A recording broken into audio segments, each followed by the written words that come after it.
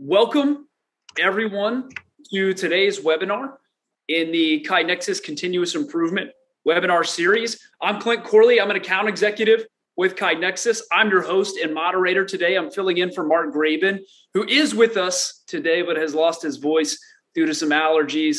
Certainly wishing him a speedy recovery. If you'd like to learn more about KaiNexus, our software, or our mission to spread continuous improvement, please visit our website at www.kainexus.com. We're really happy to be joined today by our presenter, Adam Lawrence. He's the author of a book that shares the title with today's sessions The Wheel of Sustainability Engaging and Empowering Teams to Produce Lasting Results. Next slide. Before I formally introduce Adam, let me cover the logistics for today's session Adam is going to be presenting for about 40 minutes with some Q&A throughout and also at the end. He'll be inviting you to participate along the way using the Zoom chat functionality and he'll address questions along the way. You can also as we normally do submit questions using the Q&A functionality in Zoom. This session is being recorded.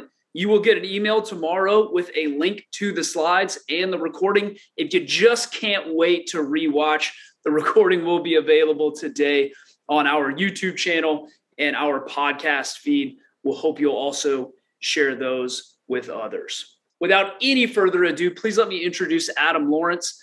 Adam is the managing partner of Process Improvement Partners, LLC. He has more than 30 years of experience in process improvement, targeted at manufacturing and business processes. He has facilitated over 300, you heard that number correctly, 300 Kaizen events in multiple industries around the world.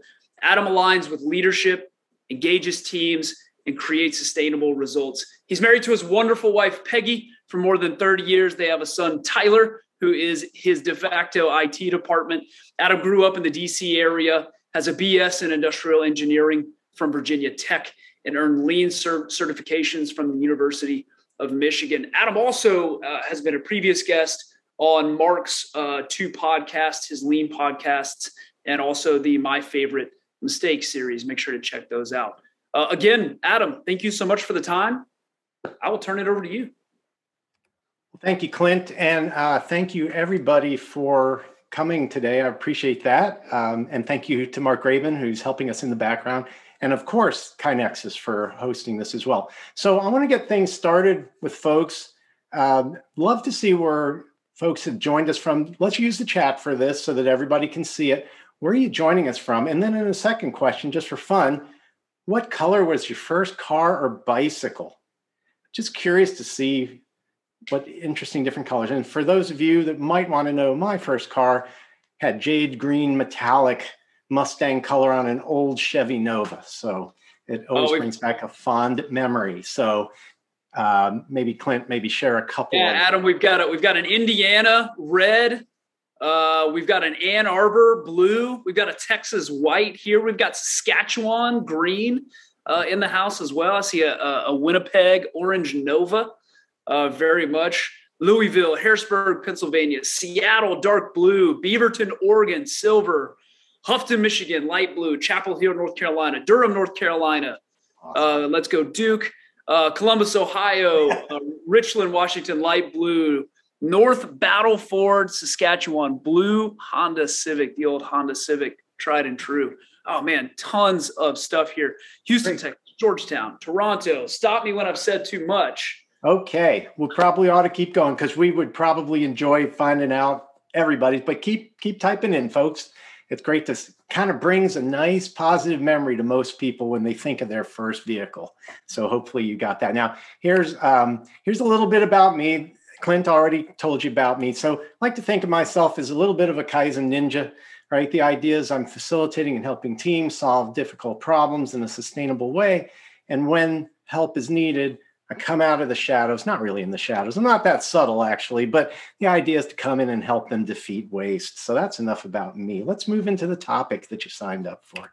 So I'm going to talk to you a little bit about the wheel of sustainability today. So, what is it? Why is it? So, I wanted to, first of all, my image for sustaining critical solutions to problems is this wheel. It has eight spokes and one central hub, which is leadership commitment. Now, I'm going to go into each element separately in different slides, but I wanted you to understand why I felt this was so critical. For me, the image of the wheel tells me the strength of the wheel is in all its elements. And if I were to take a spoke away, the wheel would work but be weaker. And if I took the hub away, which is leadership commitment, the, the wheel falls apart completely. The reason why I built this image over many, many years is that I was having difficulty sustaining solutions. Teams were coming up with incredible solutions to problems that had been plaguing them. And then when the Kaizen or project was over, the problems would creep back. So I made it my mission over the past decade or so to keep that from happening. And through many different trial and error efforts, I came up with this wheel. So without any further ado, I'm going to take you through all of these elements. And we're going to start with the first one called notification. So, ah, no, we're not. We're going to start with the first one, the key, which is leadership commitment. So, this is the thing that holds everything together. So, what am I saying about leadership? What I'm saying is leaders need to be visible and supportive. What they have to be able to do is support every element of the wheel. They have to be willing to participate and do everything necessary to help their teams and their people have a winning experience. So, that's all easy to say, of course. So, how do we get that leadership commitment? How do we start to build that? So, my method is to provide that image of the wheel. And I start through discussions with leadership about their responsibility and accountability around the wheel. And then I, then I begin, if they're interested and anticipating a win and they want to win, we do a thing I call chartering. So, I'm sure a lot of you have chartered so I break it down into four very simple elements. So the first thing is leaders need to understand what is the problem that they're trying to solve? Why does it matter? How will it improve the customer experience? How will it improve safety and productivity? What are the measurable elements of the problem that are becoming pain to the business or to the people in the business, their employees? So we need to we need to define that very well. It needs to be compelling, it needs to matter, it needs to matter to leaders. It needs to matter to the people that are dealing with the problem. So, very often, we're working with very vague statements. We're not servicing the customer as well as we'd like. And where I work with leaders is let's talk about what is the true impact. So, it takes us 14 days to service the customer. Industry average is eight. We need to get down to six to be best in class. Now, that's a problem statement. Plus, what would each day be worth? What would it be worth to our employees? What would it be worth to the customer? What would it be worth to the business? If we can make it measurable, that will make it even more real and compelling and make it easier to marshal a team together. The second part of chartering is the objective. So, if the team were to solve this critical problem, what would that look like? So, can we get those 14 days down to six? Will we implement two safety improvements per team member? Will it take less time? Will it be less stress? Can we rate ourselves better? What would a win look like within the scope of the work that the team is doing? Can they tell if they're winning? Are they on track to win? Okay, so I use winning a lot. The next step then would be who should be on the team to help win? What is the winning team? So I typically coach leaders and sponsors to say people within the process should be the ones participating. They're the ones that are feeling the pain. They will know if what they did made things better. Perhaps a customer of the process, perhaps a manager of those working in the process, perhaps a supplier to the process, perhaps some outside objective person that can give some other idea, somebody from a different location. What is that winning team? If we're going to put effort into this chartering or if we're going to put effort into the project, we want to make sure we win. What does that look like? So many times I might be walking Gemba with those leaders, and we meet people that have passion for it or are interested in helping win. That is a winning team. The fourth question is the final one. Well, who owns the output when it's over? Who has that 24 hour responsibility? Who's going to deal with everything that the team has done? That owner of the output ideally should be the team leader because what they'll be able to do is marshal resources. They'll be able to understand if the work is something that they can live with. Some of my terms that I use might be pretty frank and direct. They won't let us do something stupid. They won't let us do something out of policy. They won't let us do something illegal. Uh, that's part of my job as well. But you know, not knowing every industry, you need to understand what are the requirements, what are the specifications. So that owner of the output ideally would be the team leader. Now, when we create that charter, that becomes a contract with the team.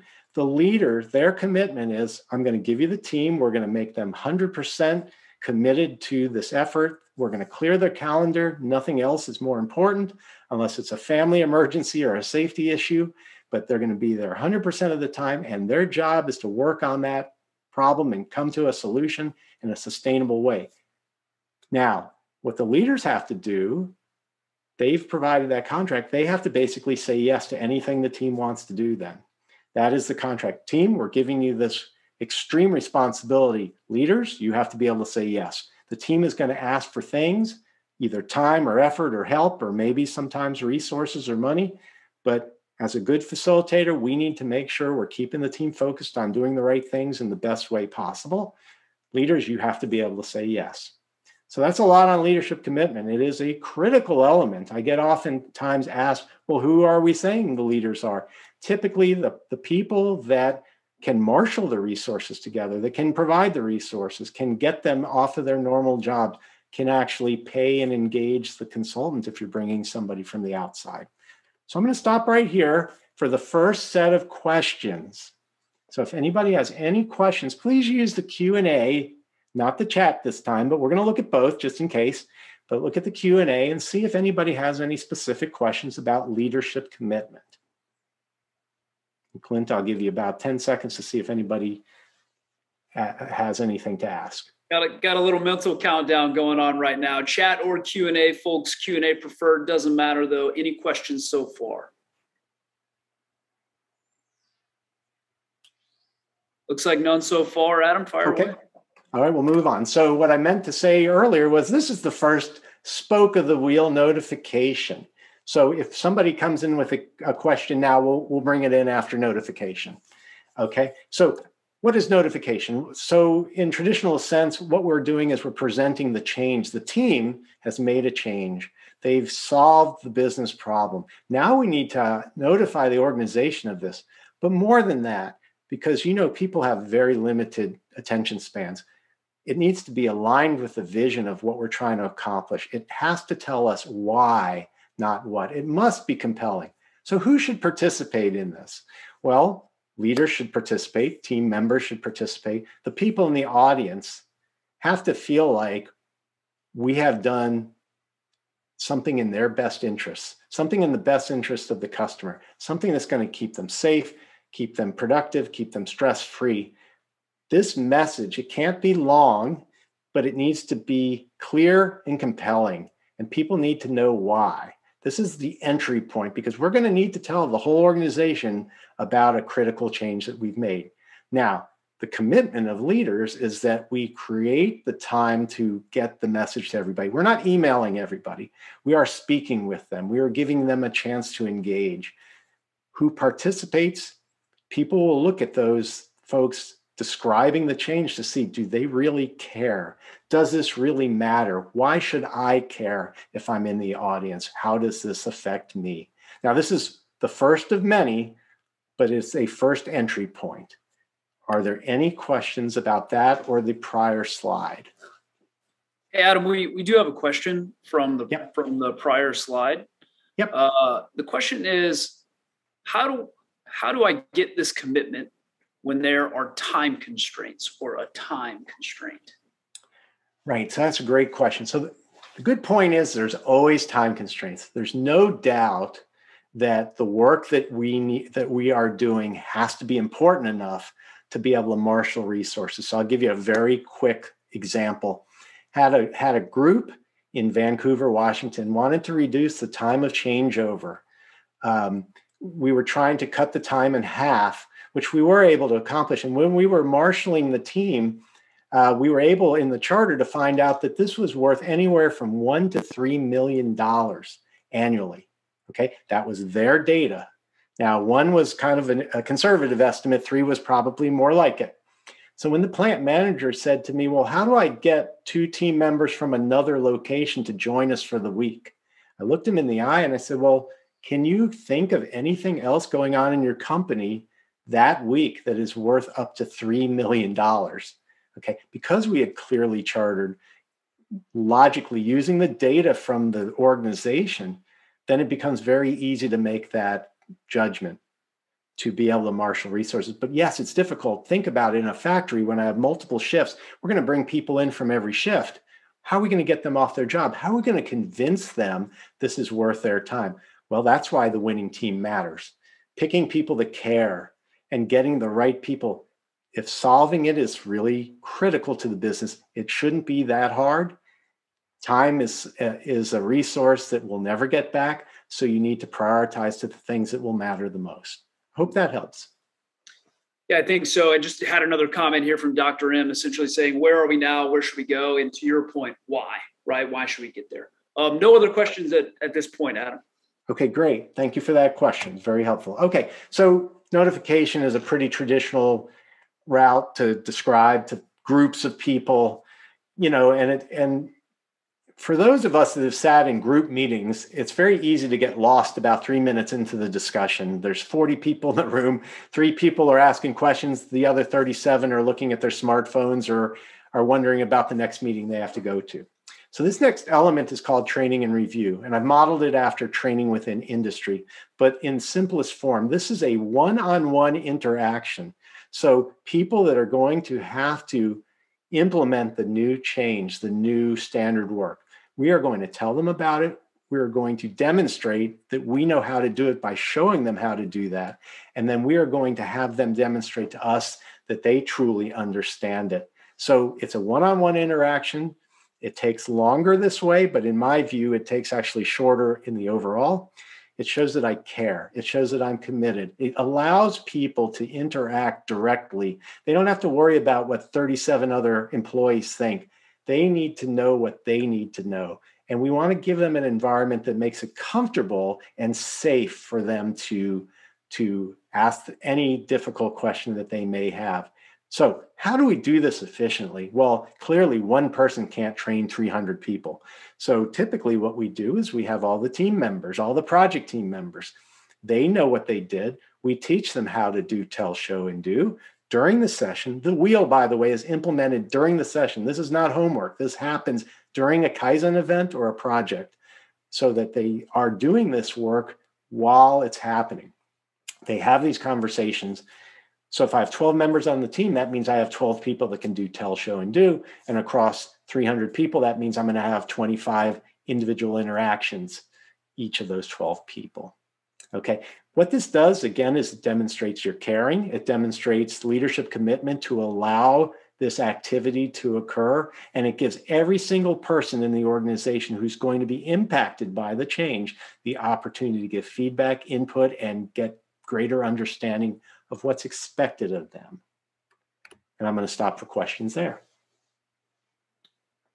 Yeah, another quick pause here for questions. Drop your questions in the Q and A. We'll give uh, just a couple seconds and a little countdown as I vamp and try to waste some time here with some meaningless words, giving people a second to get their questions into the Q and A. All right. Remember that if you don't have one now, there's going to be the next element to speak about. Plenty of time for questions. Plenty of time. All right, Adam. I'd say go ahead. All right. Well here is something that you may not have known. I love giving stuff away. So I am going to give away a free signed Wheel of Sustainability book to whoever is closest to the answer. Do this one in the chat, please. But in April, I did a free Kindle download week, and a number of people took me up on that opportunity. This was in April. So whoever guesses the number closest to how many people took me up for the free Kindle download, please type in a number. Don't say everybody, say a number, and whoever is closest will win a free book. Now, if there's a tie, I'll send out two books. So I have lots of books to send out. Um, I love giving them away. So please take the opportunity. A little later on in the presentation, I'll tell you what the answer is. Clint already knows, so you can try to bribe him. Mark knows you can try to bribe him. He's quiet in the background. There will be one other opportunity for a different, uh, for a book Okay. Any questions come in at all, Clint? No, no questions. Lots Just of answers. Numbers. Really appreciate the engagement here, guys. Lots of answers. Okay, great, great. We love giving away free stuff. So hopefully you find the books worth your effort of putting in a number. Okay, we're going to go into visible evidence then. Okay, so I, I have an image of a parking lot. The idea here is we've made a change. We want to make sure everybody knows how to do the change, but we don't want to have to crawl into the deep detail. We want to be able to see from far away. So I have a picture of a parking lot. So how many times have you driven to a place of business and realized, I don't want to park there? You're able to tell from far away. What we want to be able to do is see from far away that people either are or are not properly following the new process or the new standard work. So, a question I always ask my teams to answer is how do I know? How do I know they're doing it right? How do I know they're doing it wrong? How do I know that they have everything they need? How do I know that there aren't questions? How do I know that the tools are in the right place? So that question gets embedded in their brains. Most of my team members would tell you, tired of hearing Adam ask that question. But eventually, I want them asking that question. If they know, that's great. If anybody who is even unfamiliar with it knows, that's even better because then we can all help. Then leaders show their commitment by helping. If a tool is not sitting on a tool board properly, a leader can come in, notice that the tool is missing, help try to find it, and bring it back and reinforce how critical it is to have the tool ready when it's necessary. So the next step is to make it impossible to do the wrong thing people always try to do their best. I'll say most of the time, people try to do their best. We want to make it impossible to do the wrong thing. So they don't have to guess, they don't have to search, they don't have to worry. Everything they need is right where they need it, and anybody can tell that things are as they should be. Okay, so I'm going to stop for questions and we'll do a little bit of a demo. Anybody have any questions? Loving the question breaks back and forth you know, I, it's one of my one of my favorite things to do during presentations. Guys, again, questions in the Q and A. Give a couple give a couple seconds to get those uh, to get those out of there. Uh, we, we, do have one from Sam. Um, oh, interesting. It's a good question. Sam asks, would mistake proofing eliminate creativity? So, what we're trying to do, that's a great question, right? So, the simpler you make things for people to do the right thing, it allows their mind to stop worrying about the mundane elements of their job and they can become even more creative. So, I think a lot of people that are lean practitioners anyway would say great standard work opens up creativity. Simplify the mundane, repetitive tasks, make it a no brainer to pick the right tool for the job, never having to search for it now I can use my mind to ensure that everything I'm doing is safe, proper, and then I can start to think about improvements to the process. So I think it, my opinion is it opens up creativity. Great question. Got a, got a couple others here. Uh, Kevin asks, uh, as a certified sensei, does your, does your wheel fall in line with PDCA? Fantastic question. So you're going to have to evaluate that. I truly do believe that it does. Um, I'm going to talk to you a little bit more about PDCA in a uh, in a later uh, aspect. I use PDCA a whole lot over the last 10 or so years developing the wheel. So many adjusts due to finding that elements were not clear or elements were, were missing or the way we look at the element doesn't really sustain. So how do we strengthen the element? So this, to me, I'm on whatever iteration I'm on, 150, 2000, I don't know what it is. This is the best I have at the moment. I'm certain it could be even better. Great question. But PDCA definitely in the full development of the wheel. It used to be a molecule, it wasn't a wheel. And it used to have uh, six spokes, and now it has eight. So fantastic question. Uh, maybe one more here. Nestor uh, made a statement. It's that that you know it should be simple to follow up on the rules. I guess I guess what are some ways or some some kind of quick tips for how to simplify following up on on the rules and following up on those types of things? Okay, so let me take you into the demo. This is how this is me identifying how simple it is to make it impossible to do the wrong thing. So get ready to do some chatting. Perfect. Okay. So first question is what is that? What is that?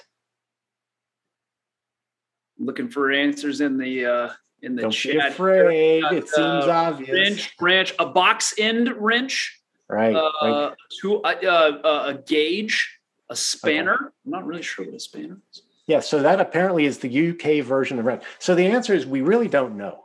because Adam's not the best artist, right? So, seen a lot of people say, I know where to put the wrench. Okay, so okay, let's just say it's a wrench, not a great draw. Okay, now what is it? Okay, now we know not only that it's a wrench, but it's a 9 16 wrench. Okay, fantastic. Now, does anybody know where we got it?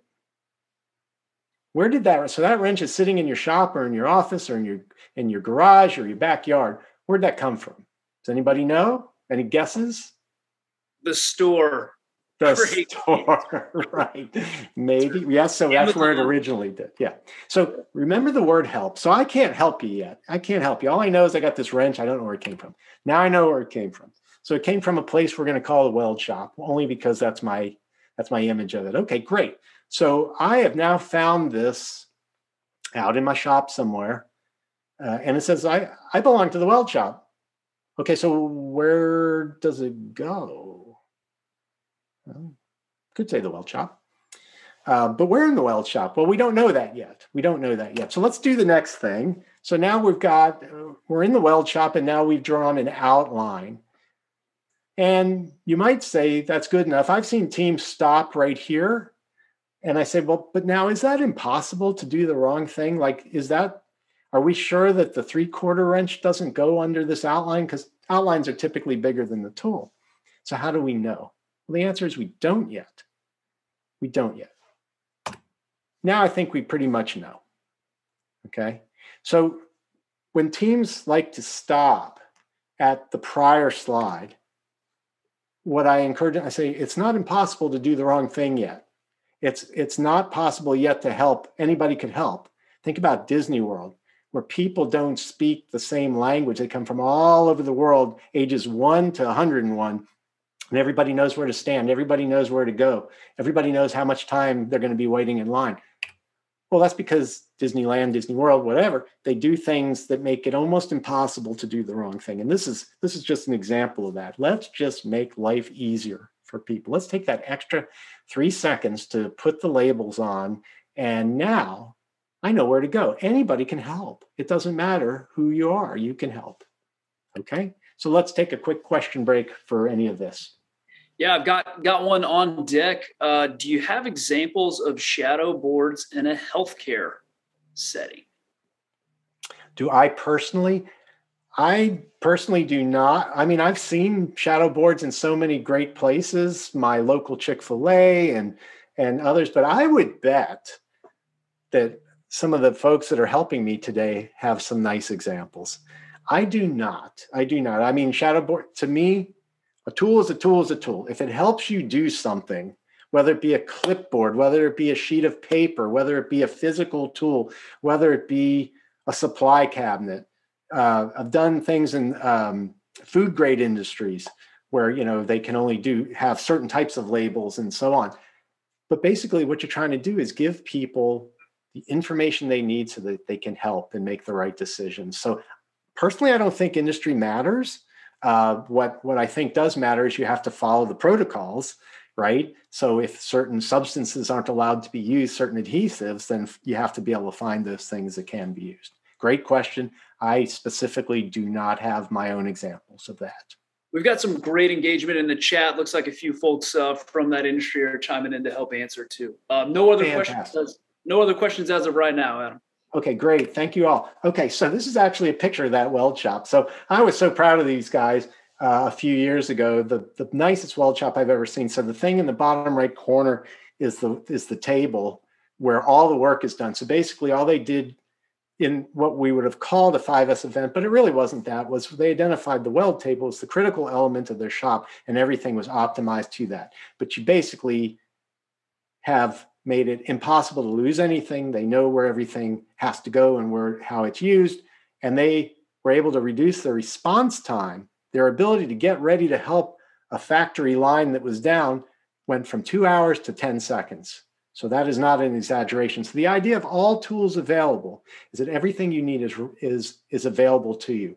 So for example, if I needed that 9 16 wrench in two locations, what I want to do is I want to hang that 9 16 wrench in two locations, have two 9 16 wrenches. What I don't want to do is put it in a toolbox and carry it from one place or the other. So let's logically locate. Let's make sure no one has to search or transport. the typical things, things that, you know, I can't have but so many MIG welders. So I can't have them everywhere in the factory. But the things that, you know, that can be lost easily, let's have them right where I need them. Okay, here's where leadership commitment comes in. When the team says, I need three of these wrenches, no one should ever ask them, how much does it cost? No one should ever say, Are you sure you need three? Couldn't it be two? the team has come to the conclusion that this will help people do their work in the safest, most efficient manner to solve the problem they've been contracted to do in their charter. The answer has to be yes. So let's make all tools available to them so that there's no searching or transporting and they feel the commitment to them. Okay, I'm gonna stop for questions there. Yeah, I got got two on deck for you. Uh, first, for Ryan, uh, he says, "What are good questions to ask to make sure things are mistake proof? Okay, so great. So the first question I always ask is how do I know? So does, how do I know this is the best place for the tool? How do I know that the person knows what to do with it? How do I know it's where it should be? How do I know that they know how to use it? You keep asking how do I know enough times and it forces you to think through okay, wait a minute. That's right-handed. Do we have any lefties? you know so keep asking those kinds of questions and all of a sudden the more questions you answer listen you're not going to solve every problem solve 95% of it and you're in good shape right at least keep asking questions until you run run out of time. You'll run out of time before you run out of ideas i promise you that. This is not about making things look pretty. This is about making things safer more productive best customer delivery possible best for the employees. You know you'll prioritize. If you've got good facilitation you will prioritize. Let's only work on the most important things we'll make it pretty later no one ever makes it pretty later okay let's just make the system so that it's sustainable and gives people the solution that they need so desperately great question any other questions yeah we got another one so let's say we have a shadow board and a tool has been taken uh, for someone to use it but a lot of people have the ability to use that tool how do i know who has it and who's using it. Right. So great question. So remember one thing is we want the tools right where they're needed. Okay. So hopefully it's keep staying within its home location, right? But who has it? Right. We don't put trackers on the tools. Not yet. I haven't. Maybe some people do that if it was worth more. Um, but this is a culture of helping, and you're going to see in the next elements how we kind of deal with that under accountability, layered audits, and clear benefits. So, great question, kind of leading me into the next the next element. Any other questions? All good for now. Power on. All right. Thank you. So the next one is clear benefits. So I will tell you again, remember that the teams implement the wheel during the session. This is not a homework assignment. So my teams typically like this element the least because what I do early on, the team is thinking of things that they're going to do. They are now going to go out in Gemba, go out onto the floor, go out into the office and talk to people that are not on the team and get their input. Find out what they think. Now, they haven't been in the team room, they haven't been out on Gemba with us solving and prioritizing and being creative. So it's raw. They get this feedback. Normally, humans expect the worst and hope for the best. So sometimes they get yelled at, sometimes they get argued with, but very oftentimes somebody says, Well, have you considered this? like earlier I said, looks like you designed this for righties, but I'm a lefty. And so the team early on, and I always have them go out early, not don't wait until it's all solved because it ain't all solved. Go out early, day one, day one and a half, go out and talk to some people one on one, get their view. Sometimes they get yelled at. Sometimes they say, How could you think this would be helpful?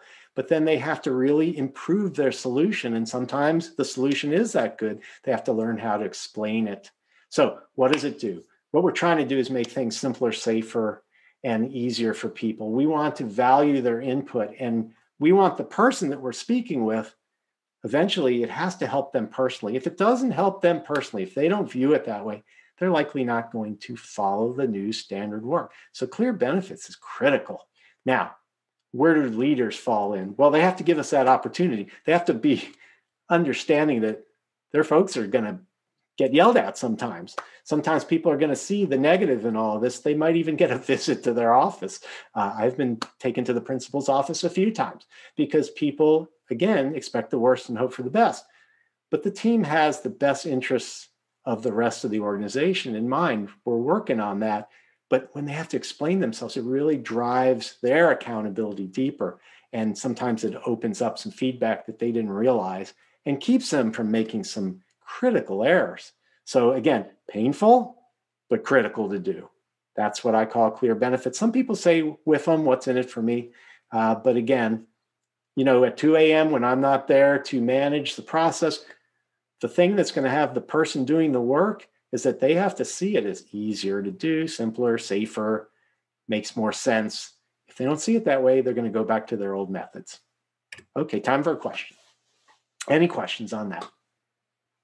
Hey, no, no open questions right now. I, I actually had one on on the the previous question. Use the example of of a MIG welder, right? We can't have infinite MIG welders uh, all over right. the place. Is there ever a situation where you know there should be a more formalized kind of check in check out process for for certain tools or or certain uh, things that get used?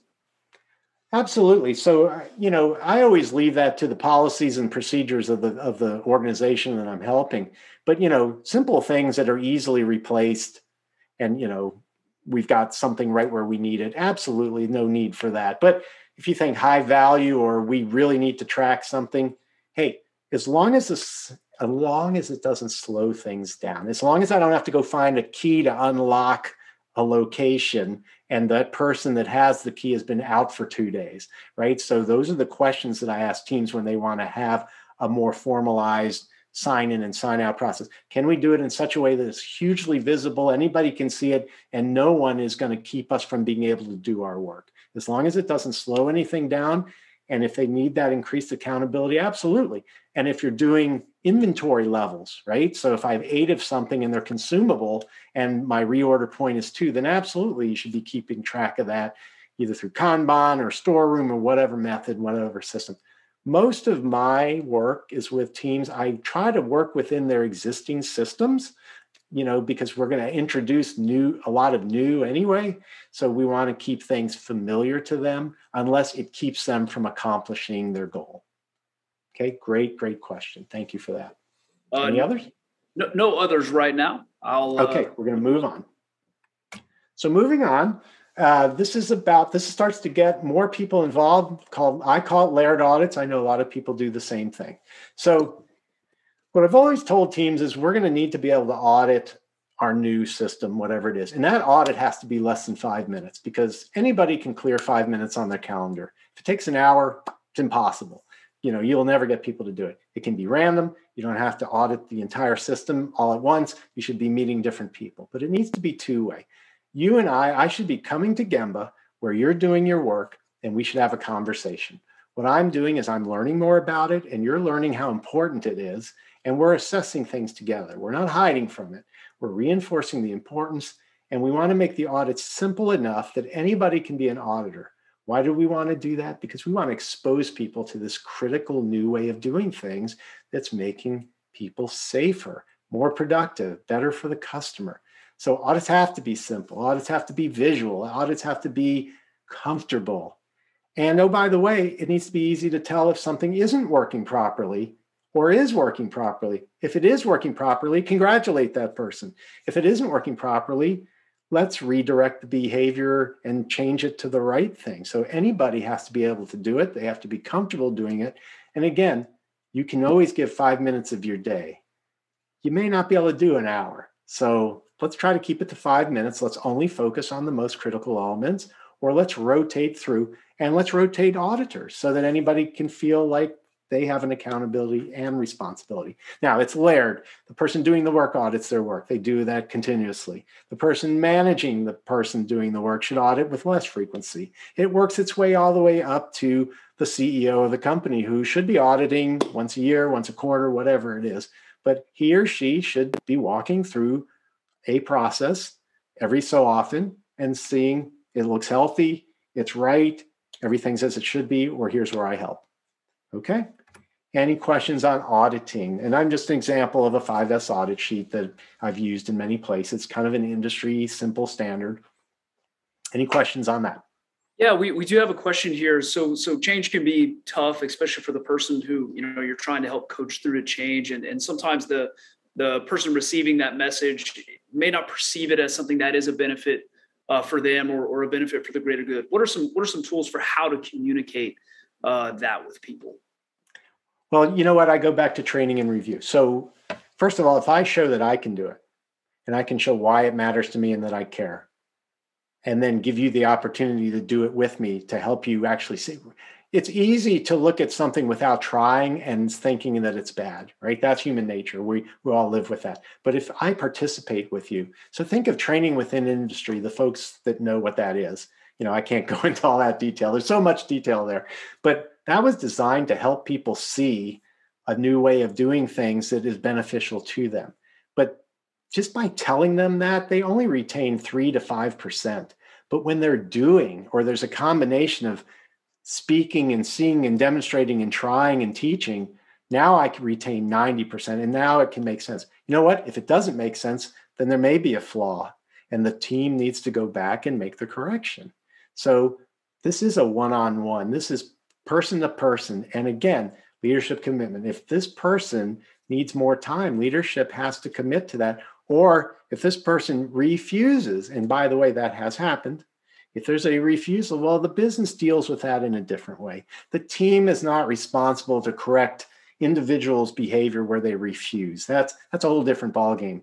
But when we're trying to make things better, the team always has the intent to try to make things better. This is not make people work harder. What's great about lean is we're trying to simplify work. We're trying to improve the safety and productivity. What we're not trying to do is make people work harder.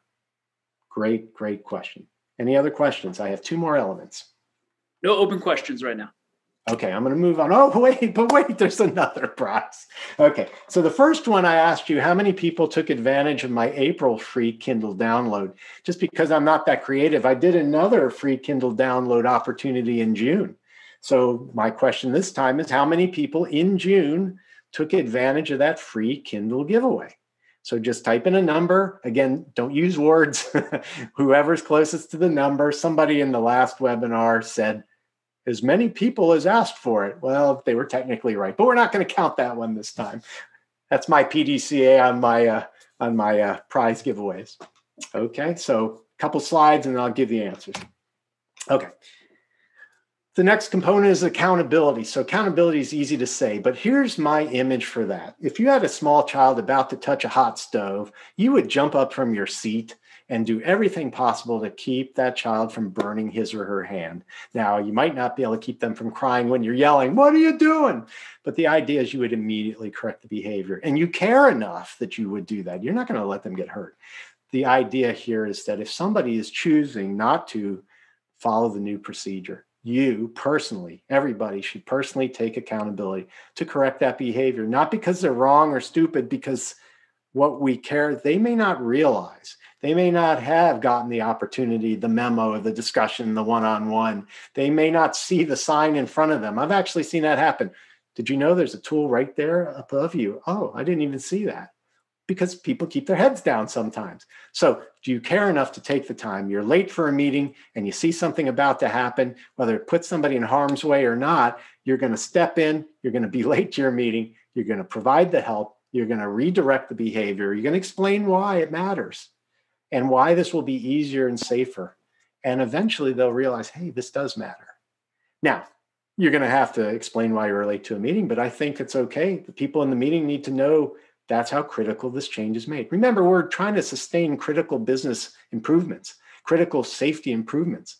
We're not sustaining uh, something that's going to save half a second. Okay, we can do that too. What we're trying to do is sustain something that took customer time from 14 days down to one day. Does that matter? If it matters, then absolutely hold yourself accountable to it. Provide the help. Help is a great four letter word. I'm going to stop for questions. Easier said than done, by the way. Much easier said than done. Much easier. Much easier said than done. So think about that image, though. Do we want to allow somebody to do the wrong thing? Because if we walk by the person doing the wrong thing, what they start to believe is that's the right thing, that the rest of these changes are they are not committed to them. They are not real. They are not helpful. So, earlier I talked about leadership commitment and chartering. One of the things I do is I say, once we do this, you realize this is your responsibility. You will be asked to, or not asked to, step in when necessary. So, you have to be willing to do it. If you're not willing to do it, we should not move forward. Okay. Any questions? No, I'm no open on. questions. Last element. Okay. So this is me telling stories. So I'm a storyteller. And what I learned, I use a term called recognition, recognizing that a cause created an effect. So here's your PDCA cycle. We did all this great work and something happened because of it. Hopefully, something positive, right? So let's say that it was positive. Let's understand what caused that to happen. Let's tell stories about it. So, what I used to do was have team members describe what they did, why they did it, and what the impact has been. And the more people that they told the story to, the more they would start to get entrenched in the organization. The ideal situation is when somebody tells that same story that wasn't on the team, wasn't even there when it happened, and they tell the story as if they were there. This truly locks in commitment. So, in the far distant past, family histories and science and all these things in nature were told and handed down through stories. I say the story is critical and, and important tell those stories. Leaders should be telling those stories. They should be getting people excited. What we really want to do is solve that first business problem and then get more people excited to solve other problems in this way, to get teams together and, and learn from each other and be creative and make things better, safer, more productive, better for the customer. Okay, I think that's my last question break. Any last Maybe. questions here on the last question break? We'll do some at the end if you want to. Yeah, yeah. Well, I didn't wear out my welcome or run out of time. I think something came in on the Q&A. Here we go. Let's see. Uh, okay, Kevin. Kevin says I've seen people get stuck in the plan do, plan do, plan do, plan do, plan do phase of PDCA. Any trick? Any tricks on breaking that habit? Well, right. I mean, certainly for our teams when we're doing this work the check is did we meet our objective right? Right? So if you didn't meet the objective if we tried the changeover and we timed it and it didn't cut the time in half well clearly we're going to improve right? So let's act. Let's let's do some more. Let's do some more. Now look you're going to run out of time before you run out of ideas. You do the best you can but you should always check. Plan do is nothing until you find out what happened right if you don't you're just guessing. You don't want to shoot into the wind. So you you want to know you want to find out you want to measure. That's why measurable objectives are so critical. And some people would say hey look it takes us 30 days to get to the customer. Are you telling me in a week you're going to know if you got it down to five days? Okay you're not going to know for sure but then i do a thing we do a flow check right? We're going to basically pretend we're the process be the ball work our way through the process as if it's happening and then the team decides have we done enough now, after the event is over, after the product, of course we're going to measure, but let's at least estimate. Let's at least see if we believe we're better. I mean, they're the experts in the room. They should know if it's better. Any other questions before I move on? Adam, I'll tell you what, we're going to go ahead and wrap. We'll do some announcements. I think that'll that'll give some more time for questions to funnel in uh, okay. as we get going here as well. You want to go ahead and hit next slide? Okay, let me let me give the answers to the two contests as everybody's chat, chatted in. So the April contest was 212, and the June contest uh, free Kindle download was 2214. So whoever won, we'll let them know by the end of the session. I just want to thank you all. If you wanted to know more about the wheel, there is a book I wrote last year, just trying to tell many more stories than I had time for and give you ways to implement you know what to do what not to do just some of my experiences some in the home some in business some in service whatever i i thought i've even been kicked out of my kitchen because i tried to use the wheel in the wrong way okay um, so the um, next slide is just contacting me you know we'll go past that but love to continue the conversation you see i think you're going to talk to how to get in touch with me but you see some of the contact ways please take the opportunity I love talking about this, as you know. And I think Clint wants me to move on to the next slide. So here you go. he said we're going to do announcements. So let's do that. No, th- thanks again, Adam. This was uh, this was a lot of fun. Uh, we had some great engagement in, in the chat. Some awesome questions come through. So thanks to our participants as well. Friendly reminder: this slide deck is going to come out, so all of Adam's contact info will will be there. If you got any other questions, reach out to anybody on our team or Adam directly, and, and we'll make sure you guys get in touch. Uh, a few just real quick announcements. Upcoming webinars. If you're a KaiNexus customer, our training team office hours are this week on the 12th. You can register now at kainexus.com slash webinars. Our next presentation webinar, which is open to, to everyone, will be on September the 14th by Karen Ross and Jessica House, speaking about the important topic of psychological safety. And we're going to be opening registration there up pretty soon. Pretty soon. Go ahead, next slide. Uh, look, you can check out all of our past webinars in our library, kainexus.com slash webinars. I think that's about the ninth time I've said that this afternoon. All of that content is free to everybody. Subscribe to our blog at blog.kainexus.com for red hot improvement content delivered directly to your inbox. Last slide or last couple slides here. As I mentioned earlier, the audio today's session is going to be on the KaiNexus Continuous Improvement podcast feed. You can find that wherever you get podcast. One more slide. We're right into Q and A, wide open. I do have one just right out of the gate that uh, that that is my personal question. I was prepping this morning and I listened to uh, your your webinar preview uh, that that you did with Mark, and, and one of the things that you talk about is just being aware that chaos is going to creep back in. I love that that little soundbite. I was wondering, what are some telltale signs that chaos is creeping back in, and how do we how do we fight the urge to just turn back into firefighters whenever those things happen? Right, that's uh, such a great question because chaos will creep back in. So, okay, what are some simple signs? one of the signs is you didn't have the session where you did one-on-ones with folks okay another way would be if audits are not being signed off in a visual way with whatever frequency was agreed to um, if a tool is missing in the tool board or you see somebody not following the standard work and they've make, they're making excuses for it i mean that's the reality of it you know it's easy to do right? So what do we do? So what i have coached leaders to do is you know you never you never back off right? It's a reality though that business is going to cause things to happen. But again we're working on critical elements for the business this is the opportunity to teach a discipline to the organization in such a way now here's the good news clint and whoever might be thinking the same thing I have people send me pictures all the time of the thing beyond the Kaizen that looks actually better, where there are green numbers on the board where there used to be half red numbers, or the next area that they organized because somebody was watching the team and they said, Ooh, can you come to see us next?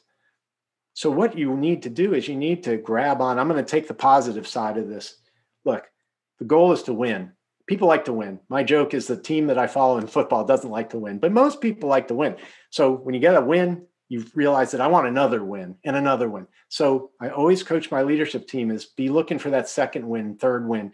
When people start to show interest, give them the opportunity. You know, because if you saved a million here and you can save 500,000 there, those opportunities don't just fall to your feet all the time. So why not take the opportunity? If I can make an ER safer for people, it takes 30 minutes to wait instead of two hours to wait. I mean, lives will be saved.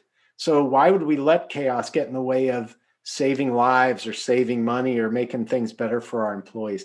One thing I didn't say was I want to thank everybody that joined. I mean, I want to thank KaiNexus and Clint. Thanks for being a great relief pitcher. Mark, thanks for hanging in there. Poor Mark lost his voice. He thinks it doesn't sound good. It sounds fine. But anyway, it's just great to see the your organization was going to make sure we had a winning experience. So I hope those of you that joined and hung in there enjoyed. Now, Clint, do you know who won? Do you yet know who won the contest? Yeah, we we do. So so Marco was was gracious enough to drop them uh, in the chat. We have uh, it looks like we have three winners here. Uh, awesome. Kevin Burgess. Okay. Nick Codere. I'm sure I'm saying that incorrectly. C O D E R E. And then Kim Pottinger. Great. Well, congratulations to you all. And once I get an email and mailing address from you, I'll be happy to send those out. I just learned how to click to ship from my own home. I can't believe I waited three years to figure that out, but boy, does that make life easier. But well, um, any, any, other questions or thoughts before we? Yeah, I tell you, Adam. Well, let's let's send you off with a fun one here. So so uh, obviously you're well versed in the in the topic you you presented on today, but what's something surprising that you learned through the process of writing uh, writing your book? Something that you learned throughout that process that you didn't really expect to, or that that was fun for you? Okay, I'll tell you the one that my favorite thing was. Somebody told me somebody has to read it out loud to you because you write and you write and you write and you just get sick of looking at your book, your work, and it just absolutely you you get blind to the craziness that you just wrote. So my wife and I would spend an hour or two every other night, and we would read it. She would read a chapter out loud to me on the sofa right behind me, and it was just the neatest thing. Really for for both of us to just first of all how redundant i am oh my god so we cut out thousands and thousands of words but but just it helped her understand what it is i actually do and why i do it there were stories she's in the book there are stories of how like i said she used wheel sustainability in our kitchen and just about kicked me out when i suggested to move pots and pans in different locations but it really also as solid as our relationship is, it even made it that much stronger. It was so much fun having her read it out to me and listen to her beautiful voice speaking what I was attempting to write and making it sound so much better when she said it. If we ever did an audiobook, which we won't, I'd have her do it. She wouldn't do it. But um, it was just so much fun, but also realizing how difficult it was to understand until she asked those great non-practitioner questions. What in the world do you mean by that? Why did you use that word? Oh, that was perfect. Uh, so I did learn that. Have somebody speak it out to you, and you have to have somebody that you trust. And you know, it could be tough if it's somebody that you know would be mean. we had a lot of fun with it. I love it, man. I love it. Well, I tell you what, with about two and a half minutes to spare, I think we'll call it on that question. You got a lot of love coming in through the chat window. Everyone, uh, thanks everybody for your participation today. I had an absolute blast. I hope that you guys did too. Adam, thank you again so much. And uh, we will see you all next time. Oh, that's great. Thank you guys. Thank you all for showing up.